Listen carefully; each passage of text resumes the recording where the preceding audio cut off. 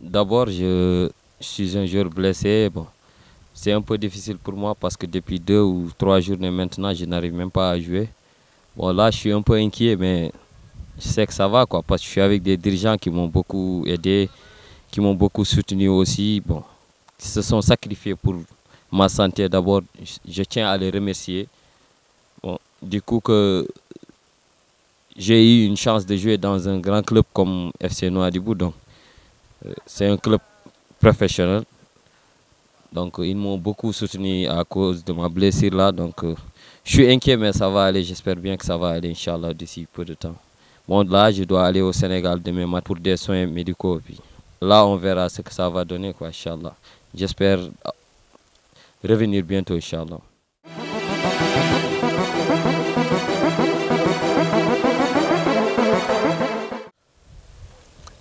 J'ai quelques joueurs clés de l'équipe euh, comme Watt, euh, Yakoufal euh, et Salbou qui sont encore dans des états un peu difficiles.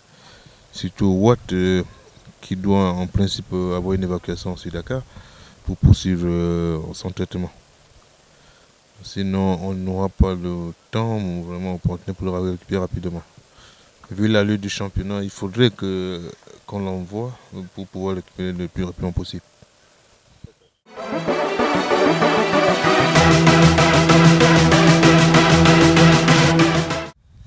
فيما يخص اللاعب مواد واد.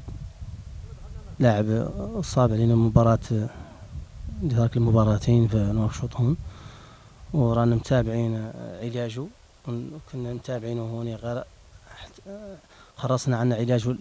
لابد يطلب عنه يمرق للخارج شهر إن شاء الله والسنغال ودور عدنا على إجراءاته كامله إن شاء الله. باش يمشي ويتداوى في أحسن ما يرام.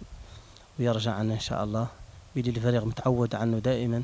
اللاعبين عنه ما يخليهم عنه دائما اللاعبين الضعفاء اللي يجبروا دائما البليسير والعطوبه في المباراة دائما يتوقف بهم ويداويهم. إن شاء الله هو الدور إن شاء الله ويداوي ويرجع إن شاء الله إن شاء الله كما هو ود المعروف إن شاء الله.